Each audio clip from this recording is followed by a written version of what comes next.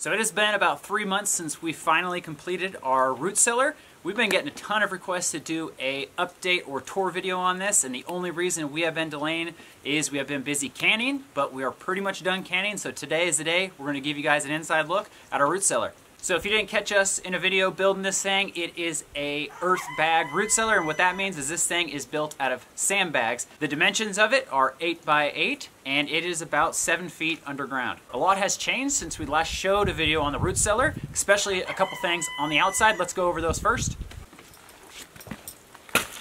So something that we quickly realized with the cellar is that when we got a lot of rain, we were having some major problems with erosion. So kind of our quick fix for this year is we gathered a bunch of rocks from our property and stacked them up all on the edge and it actually seems to be working pretty good. We haven't had any erosion and we've been getting a ton of rain lately. So we didn't cover the top section with rocks and that is because the ground is going to be freezing pretty soon so this mud is going to go away and also we didn't want to put even more weight on the top than we had to. We also made a couple changes to our hatch. So when we first built the hatch, all it was was two by fours basically. So what we did is on top of the two by fours, we put one and a half inch foam insulation all the way around, and then we sandwiched more two by fours on the outside, what you're seeing right here. So we have a good amount of insulation in the hatch going down to the cellar. The next thing that we did is we turned our vent caps upside down so we're not going to get any rain in there and then we also ended up adding another vent which is right on the other side. So this is our other vent, and this one actually goes all the way down inside to the floor of the root cellar. And you may be thinking that this hatch is kind of low to the ground and that's gonna get snowed in, but we are gonna be managing the snow on the top of the hatch, so we'll be clear when we need to go in and out of this thing. So before we take off the lid and head down in the cellar, we have a question that we wanted to answer, and that is how do we get things in and out of the root cellar? And to be honest with you, it's pretty simple. We either load up a small wooden crate that I built with canned food, and one person just brings it down there. Or if it's something bigger, like a tote that we have our carrots in, we just help each other. So it's actually not that big of an issue getting things in and out of here. So let's get the top off and head down.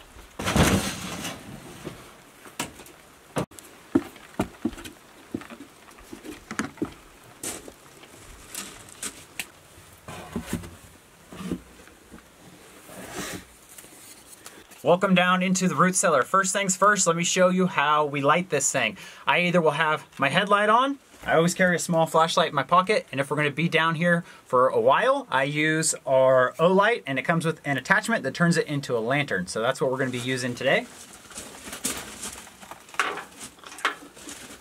All right, so something that we added down here in the cellar is we reinforced the stairs. We added cleats on most of them where we could get them, and then we just ran a bunch of long, thick nails to the sides, so the ladder is holding up great. Next thing we added was a sump pump, which is right underneath the stairs. So when we first dug the root cellar, we initially wanted to dig it 10 feet deep, and we did, but we hit water. So what we had to do was we had to fill back in the dirt until we were about seven feet, and we weren't seeing water anymore. That was in the summer. We kind of knew that in the springtime, the water was going to rise up, and we might get some water in the floor in here. Turns out it happened a lot earlier. We did get some water in here on the floor just a couple months ago. So what we did is we installed our sump pump, which has been working great. I put an attachment on it to hook a garden hose to it. And when we see the bucket starting to fill up with water, we turn on the sump pump, pump it for a little while until we don't see any more water, then we're good to go. So the water table right now, if you can see down here on the bucket, it's coming up just a little bit above this bucket. It's not ideal, it's not perfect, but it's also not the end of the world and it is still letting us use this root cellar. We're just gonna have a little bit of water on the ground if we're not pumping it with the sump pump. Before we jump into the tour of what is down here, I was going to go over a few more things. First off, we get a lot of questions about temperature and if it's frozen down here. We have already dipped into the teens just briefly, and what we found was we were staying at 38 degrees down here. So I'm not personally concerned that this stuff in here is going to freeze this year. We are down below the ground and it just feels like that. It feels like a root cellar. It's wet and damp and it feels pretty stable for the most part. So along with that means that we have excess moisture in here. If you guys remember when we built this, we were in the 90 to 100% range and we are still there. We did try a few things with fans down here and try to get that humidity down. I think in the summertime we were able to get it about to 70, but it's just not realistic for us to have our hatch open due to the possibility of too cold of air coming in here and also exposing our potatoes to light. Where that comes into play is certain crops store wonderfully down here. So our potatoes, our carrots, our beets, leeks, anything like that that needs really high humidity does great. It's not really great for dry goods and it's definitely not good for squashes, garlic, onions, things like that. And I didn't really anticipate that, but all that stuff is up in our cabin. We haven't had any issues with rust so far. These shelves are doing really good. What we did do was line the shelves with this little bathroom rated plastic liner and it's super easy to clean if it gets any dirt on it. We have had a little bit of mold growth here and there on certain jars and what we found works is wiping them with vinegar before we bring them down just to get rid of any residue before they're in storage. Another major concern was earthquakes, and we do have earthquakes pretty frequently here. We've had two earthquakes in the 5 range. I think one was a 5.0 and one was a 5.2 and they were decent sized earthquakes. I feel pretty confident saying this shelter would be fine in the 7 earthquake that we had before. I think some of our jars we'd suffer losses, but we did add a little bungee to help with that. We don't have it completely perfect in here, but I'm not overly worried about it. We've already had these canned goods be through multiple earthquakes and we were fine. We just finished counting all of these cans yesterday and we are sitting at right under 550. I think it would have been a little bit more if we harvested a moose, but we're pretty happy with what we have for this winter. Let's go ahead and take a look at what we have. On this first shelf, we have all salmon and this is pink salmon right here. We actually have a mixture of salmons up here as far as how they're processed. We have some brine, some smoked. This is some of the red salmon that we caught a little bit earlier in the year. We have about 110 jars left. We've eaten quite a few already, and it would have been nice to go into winter with quite a bit more, but we were counting on getting a moose that we didn't. So the next shelf is more of our staples. We've got, first over in the corner, we've got chicken stock. And this is also chicken stock just processed at a different date.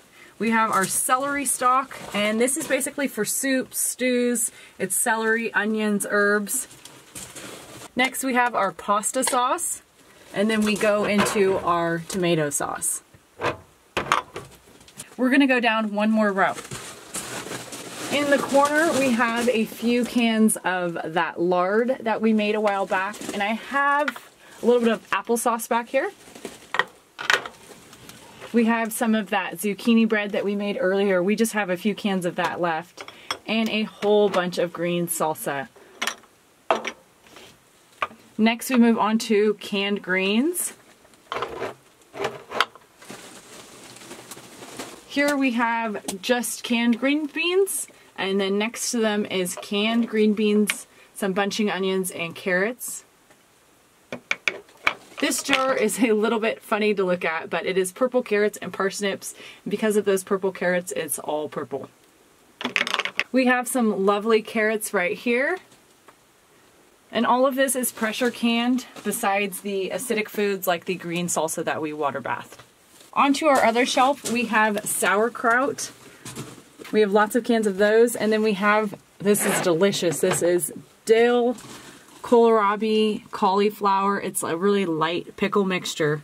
And we've had one of those cans so far. It's really yummy. The next row we have some relish. We have pickled onions, jalapeno, and carrots. This is cowboy candy marinade, and these are the cowboy candy or candied jalapenos that we made a while back. Back in this corner we have a favorite of ours, which is banana peppers or pepperoncinis. Now we are on to our jellies and we have first a apple jelly. This is some of local apples that we picked up and turned into jelly. And we have blueberry fireweed syrup. So I put some really special code on these cans that I'm probably going to have a really hard time remembering this winter. We have lots of those. Then we have elderberry syrup, which is from red elderberries, and that's why it has that color. This is fireweed jelly. That one has a nice set. This one's my favorite, WBRHJ, and I believe that means watermelon berry rose hip jelly. That's a really gorgeous color. And we have one more, which was blueberry and crowberry jelly.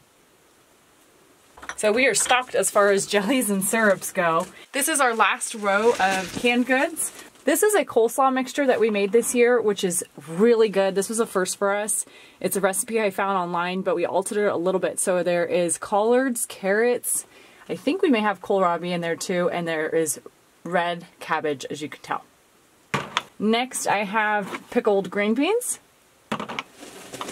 And we have a funny looking jar. This is called a garden antipasta and it is a olive oil and vinegar marinated with veggies. So there are carrots, eggplant, there's herbs in here. I also have some onions and peppers and it does look pretty funny because the olive oil has thickened up because of the temperature. But this is a super good thing to have as an appetizer. We also have a new recipe here. This was a sweet pickle. So we've got honey in here, we've got onions, peppercorns, herbs, kohlrabi, and some daikon radishes. And then we have our pickles. And we did just a basic dill pickle recipe. We have lots of those back here. We've got some big ones. I think these ones are just whole, whole pickles since we had some big ones. Next to that shelf, we have all of our potatoes. We have four rows of potatoes, and I think that's a good amount for us this winter. We'll probably have more for next year because we want to also save the seed to plant them for the following year. And these guys are cured now. They've been down here for a few weeks. They are rock hard and they're doing wonderful. As long as we keep our hatch closed, they should be fine and they shouldn't sprout prematurely. You may have noticed that we didn't fill everything up this year, so we have more room next year to grow more food and to have a place to store it. Let's go over what is in our tubs. This first one is carrots. We actually have two tubs with carrots, and that one's just put away since we're not going to be eating them that quickly. And next I have some apples. We got these apples at a local orchard, and we are going to be making apple cider vinegar out of them soon This little five gallon bucket was just some extra carrots we had. And so far, I mean, they're storing really well in these. It's just the perfect amount of moistness. We've come down here and got, gotten a few carrots already. This next container is the beets that we stored just a little while back. And behind me, we have our leeks and we have a cabbage. So I just have one sole cabbage that was mature this late. And usually you leave a lot of their leaves on and you hang them up. And this root cellar is working wonderful. It's almost identical to putting something like this in a crisp drawer in your refrigerator. So our leeks are looking good down here and I'm going to take this off to show you guys some of the carrots. So far these have been storing well in these shavings. They're really, they're still really hard, not soft at all. And this is our first year doing this, so we'll see how it goes. I'm to get those covered back up. So that's it for what we have down here. At a different date, we're gonna go over some of the stuff we are storing in our Conex and in our cabin. So far, this has been great for us to store food because you can see that this is quite a lot of food to put in our cabin. In fact, I don't even know where we would put it all and our potatoes would definitely not store that well in there. The question we receive a lot is how do you determine how much you're going to grow and put away for winter? And being our first year in Alaska, this is a little bit of a different experience since there was a major shift on how much food we actually canned. I personally would want to have a little bit more going into winter, but I do think that this is a really good start. And we just try to grow as much as we can for that year. So we're not trying to be canning for years and years in advance or anything like that. These are one year's season cans. That's why I'm not overly worried about rust or any sort of growth on the jars. But with that being said, these cans behind me would last much longer. We've had canned food that's three, four years old. So if we have a crop that we did particularly well in and we can too much of it, that's great. It'll just carry on for the next year for us. Another question we get a lot is, would you change anything or how would you do it differently? And my answer is yes. And the first thing I would do differently is not have put this wood in here. So we already know that's going to be kind of like an immediate redo, or at least within a few years. They are holding up and they're pretty strong. I'm not at all concerned about them, but with this bark, they're just not going to last very long. So again, we're happy that we at least have somewhere to store our food this winter, and I do think that this setup will most likely work for us in the future, but the roof is going to have to come off eventually. Eric's going to talk a little bit more about some of the changes we may be doing in the future.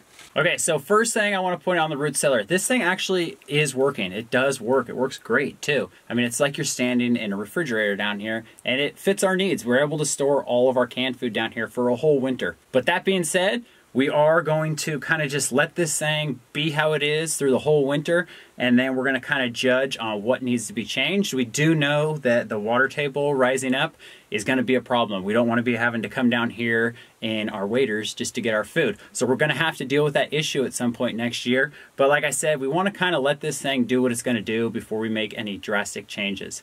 And then like Ariel said with the roof, this was kind of just what we had to build with. It was kind of spur of the moment when we built this root cellar. We were planning it, but we didn't know we were going to start when we did. So the roof, it will change eventually, but right now it's still holding up pretty good. To end this video, we're going to show you guys what we look forward to coming down here and grabbing in the middle of winter.